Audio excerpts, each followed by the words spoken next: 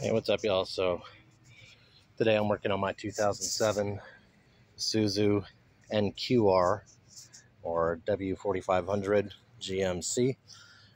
Um, today I'm going to be swapping out the rear differential. Uh, there's a five 125 gears in there. I'm swapping out to 410s so I can have a little more highway manners. Um, luckily, I don't have a, a, box to deal with yet. I'll be putting a bed on it when everything's done. Um, first up, at least for what I had to do, I had to take off the outer wheels so I could get the bed off. But that's not a requirement for doing the job. Right now I'm busting loose the drive line. Uh, the four 17 millimeter bolts that go around the yoke there. Then it'll be taking the axle shafts out, draining the differential, of course, um, which I'll, I'll do that before I pull the axles. And then lifting that guy out, and putting that guy in. Pretty straightforward job today. We got the first three out. Working on this last one down here.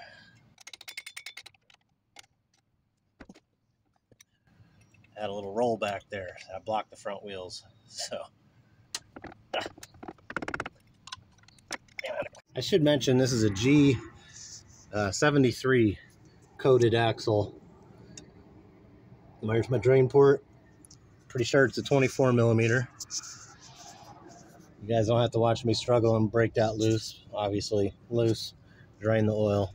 We'll get back on video after that. This is just too tight to get in there. Well, that's busy draining. I'm gonna get on the pulling the axles. Uh, these should be 14s.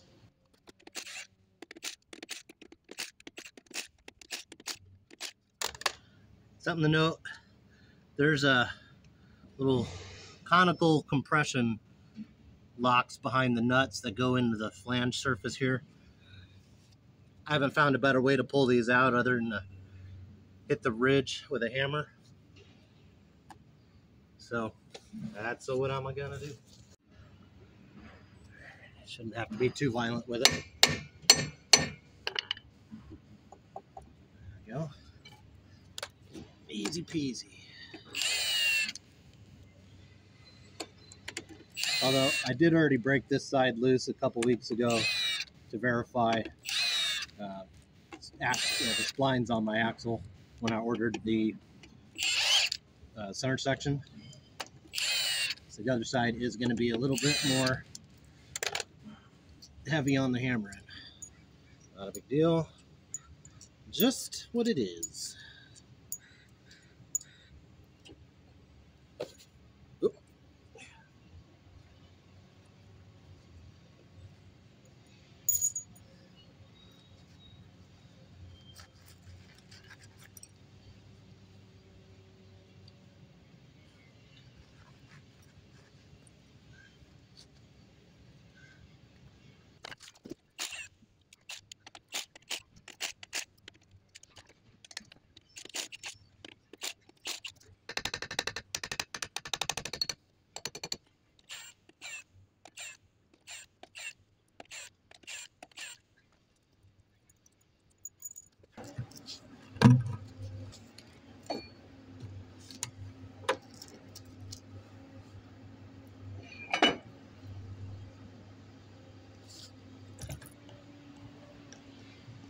Go, just pull it out.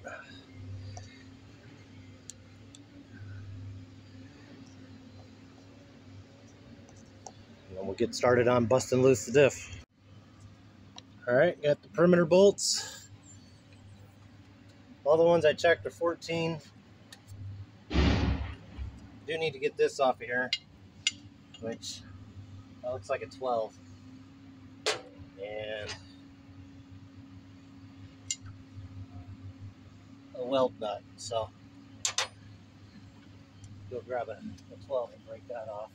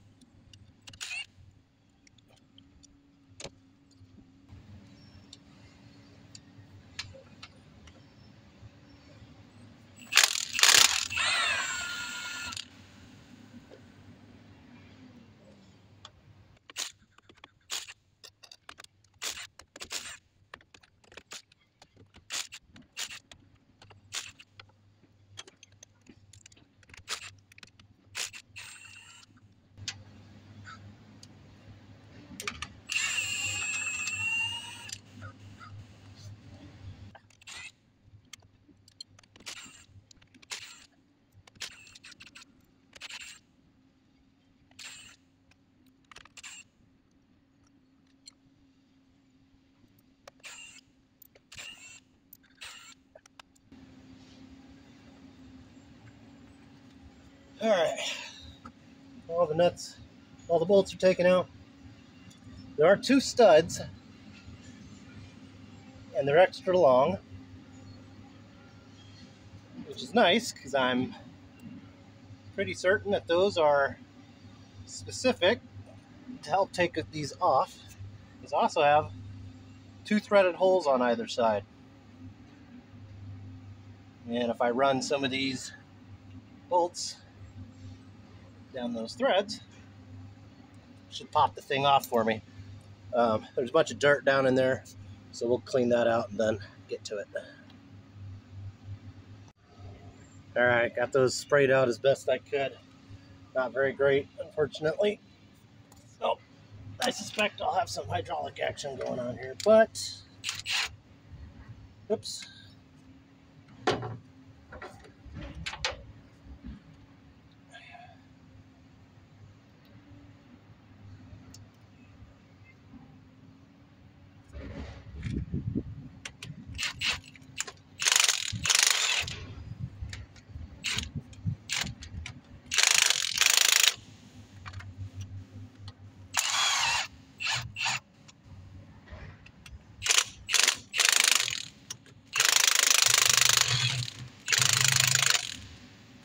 That. Alright, yeah, let's see. Loose. Next hard part, lifting this thing out of here at such an awkward angle. Probably weighs, oh, I don't know, in the realm of 120 pounds, 150 pounds. Not too bad, just really awkward. Um,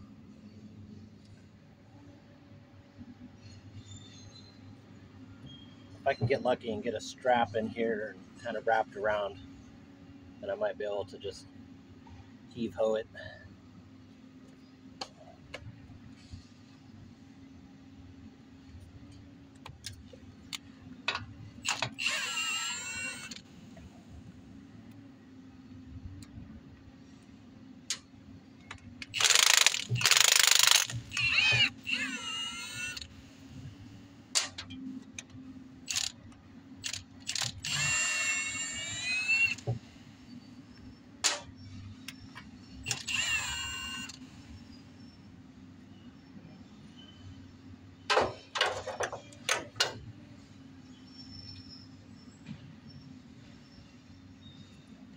Leave it on a couple threads.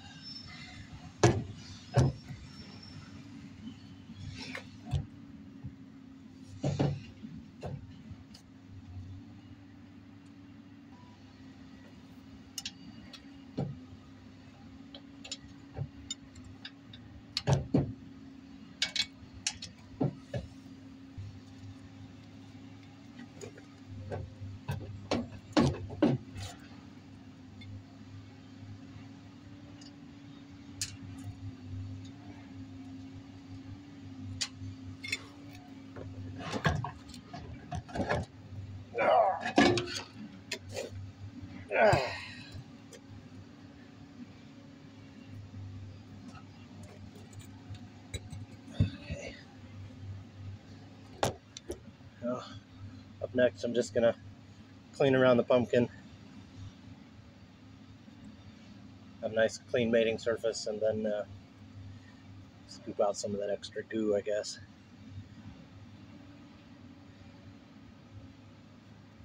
Don't need to see that on camera. Got all that cleaned up. I'm gonna do a test fit first to make sure that this uh, quote new differential fits, and then I'll pull it back out and goop it up and do an actual install.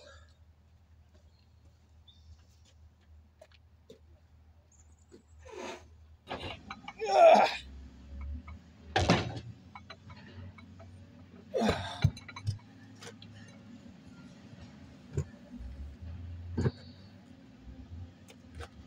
Hmm.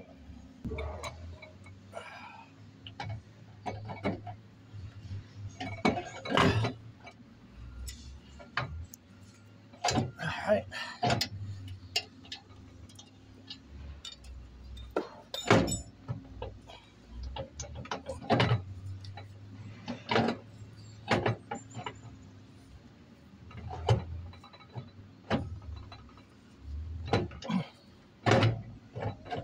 Ah.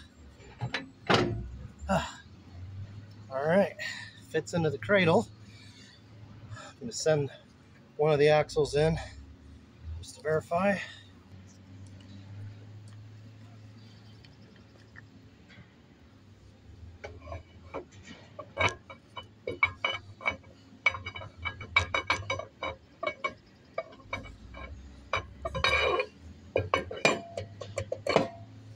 All right, good news.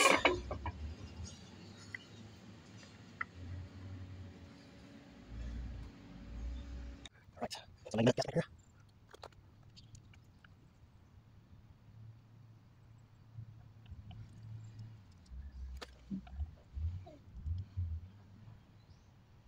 Good job, good job.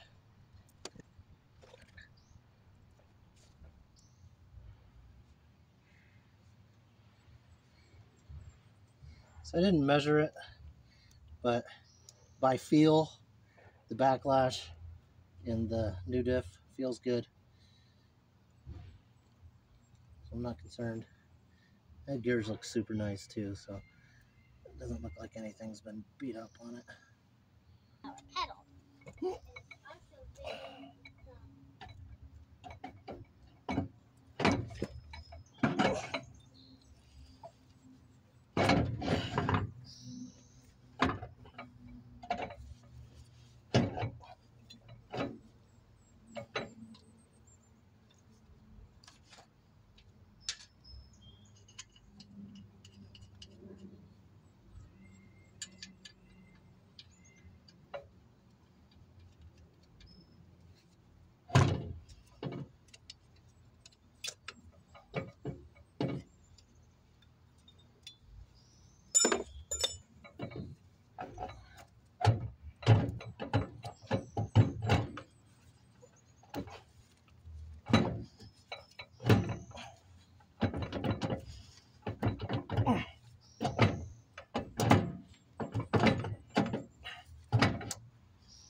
All right.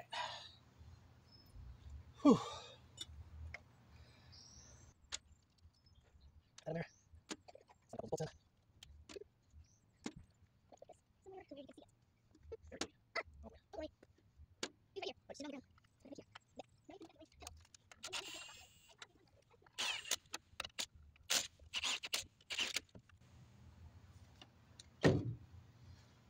right, we'll have to look up the torque spec.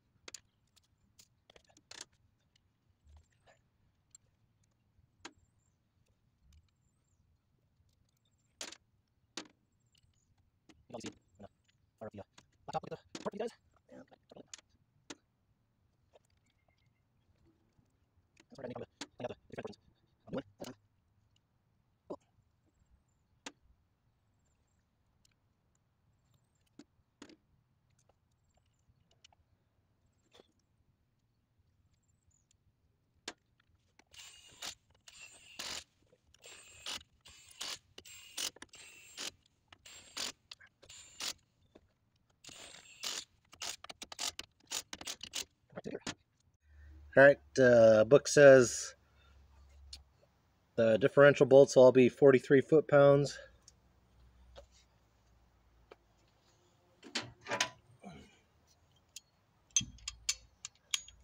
Which I'm sure I exceeded with the Ugga Dugga gun, even though I had it on. No, maybe not.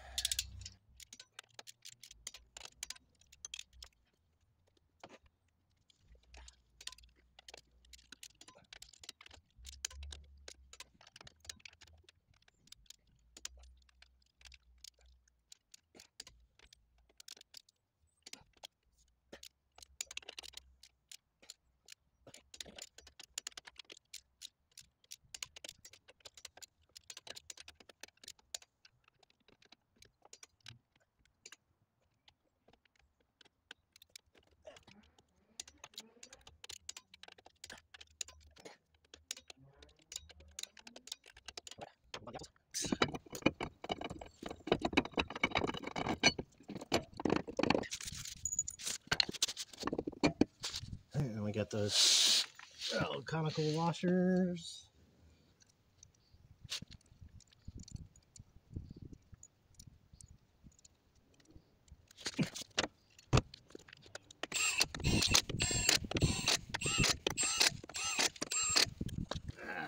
These called out 36 foot pounds. 36.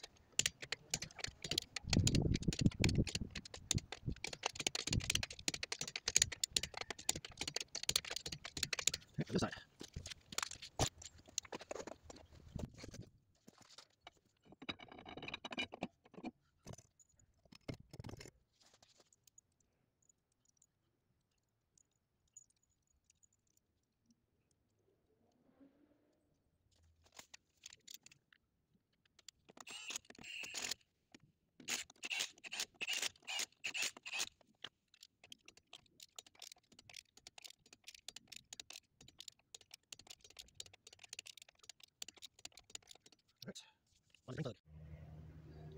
All right, drain plug. Uh, I mentioned it, 24 millimeter. Spec shed 62 foot pounds. Seems like a lot, but that's what it says.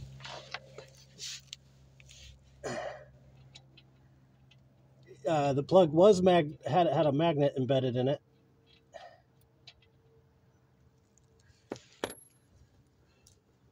and it has a copper crush ring. So that's cool. If I can just get up in there.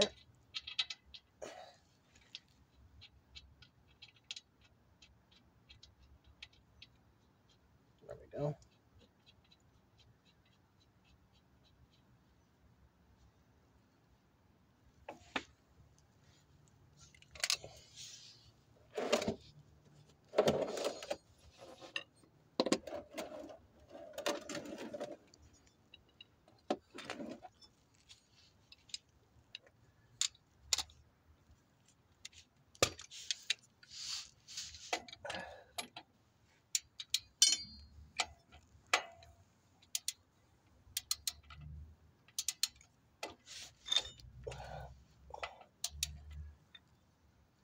A socket would be more ideal.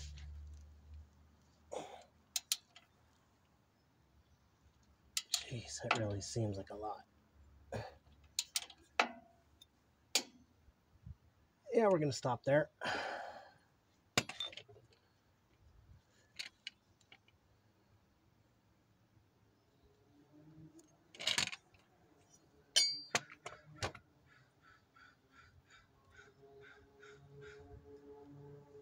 I'm stopping short of 62. That, uh, I didn't like that. Hopefully that was just a copper slipping. Uh, all right. Um, and then gotta get this back on here.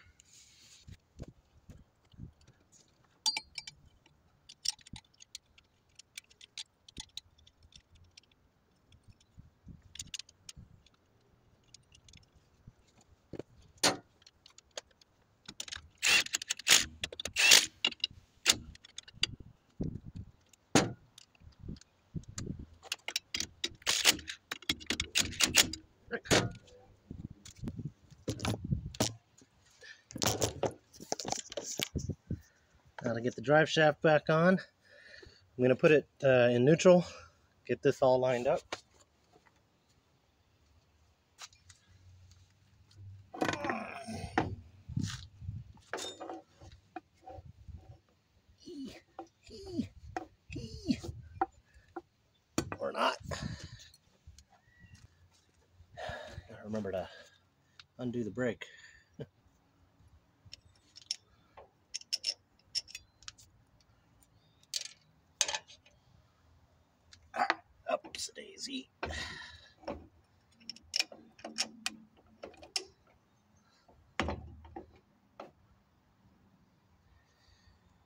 Well, there's a problem. Hopefully it's not. Let's...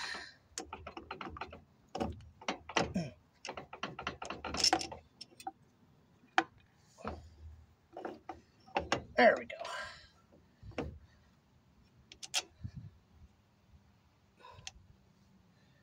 All right, crisis averted. you saw the flanges uh, rectangular, so you can only bolt it on in one orientation.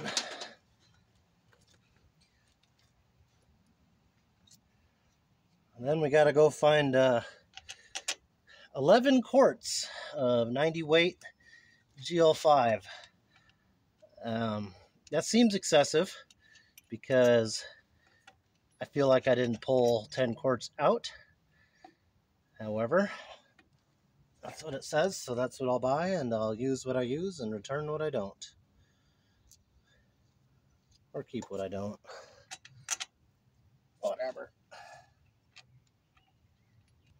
And one thing I would actually have really liked to have done is uh, shoot some lubricant onto the gears before installing it. Get a little pre-lube action, but because um, the uh, the shipper obviously sprayed it all clean, you know, so they could ship it without having to worry about hazmat, which is fine. But I should have pre-lubed it. But I'm just going to rely on driving it slow and getting the lube all up in there without any issue, hopefully.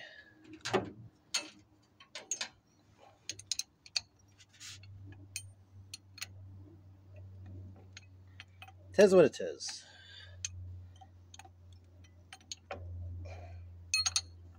Not terribly concerned about it. These gears were in use prior, all the bearings. So it's not like they're going to be ran dry for the very first time. They've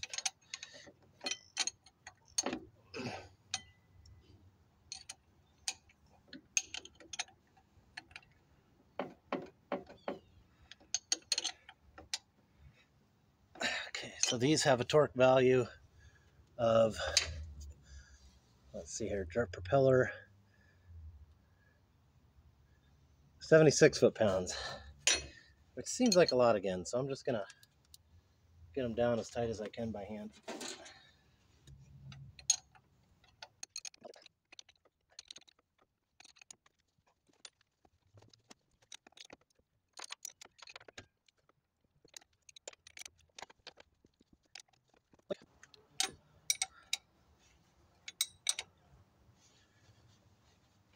click.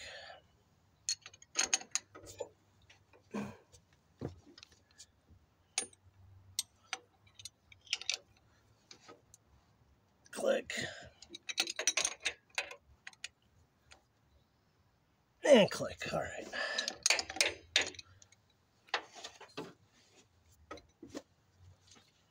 All right.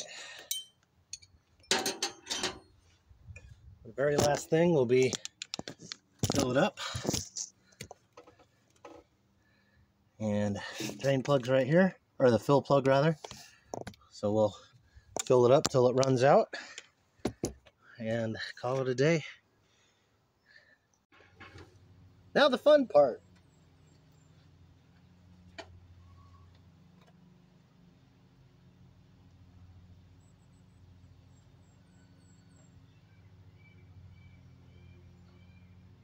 Ten point six quarts, according to the manual. So I got uh, three gallons. So only need two and a half, roughly.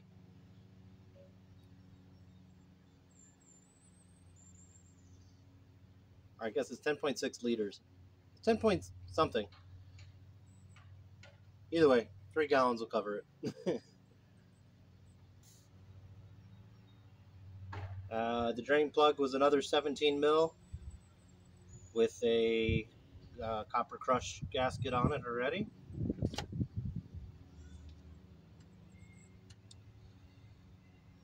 You know, all in all, I gotta say that um, this has been one of the easiest re-gears. I love third members. I don't know why every differential ever made is not a third member. I hate setting up gears uh, inside the pumpkin, dealing with shimming it all correctly. Third member, you just crank the uh, crank the preloads on and everything's good to go. So easy. And then you just toss it on in. You can do everything on the bench and then just toss it in.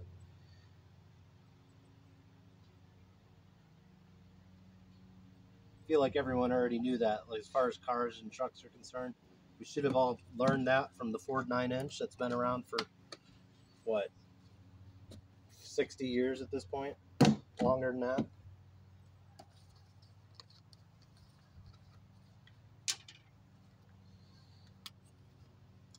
Well, Dana and corporate and um,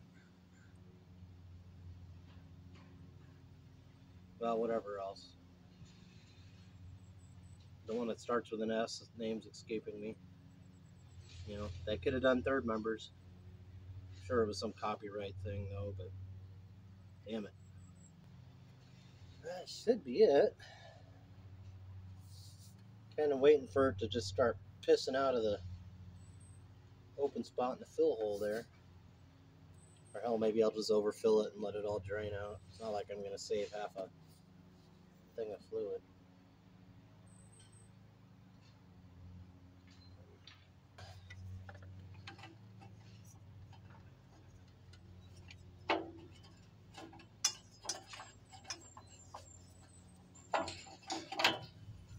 Yep, there we go. Overfilled. Fine by me.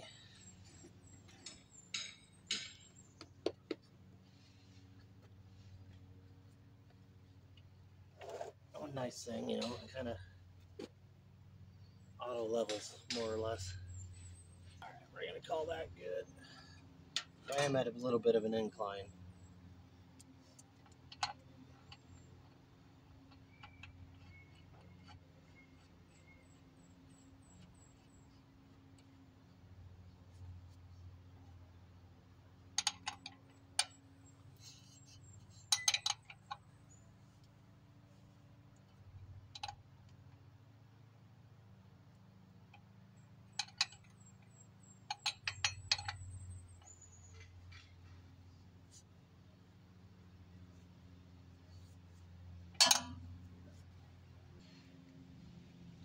All right. There it is. All done. Kind of want to take it for a drive, but uh, I can't. So, I mean, I could, but they got the road all tore up. Any rate, uh, 2007 Isuzu NQR or GMC W4500. Uh, uh, rear differential, re-gear, the easy way. If this gear ratio doesn't work out for me, I'll wind up buying a set of gears and re-gear my other differential, uh, the original one. I actually kind of wanted to do 430s, uh, but I couldn't find 430s, so this is where we're at. I don't know if this will be useful to anybody, but there you go.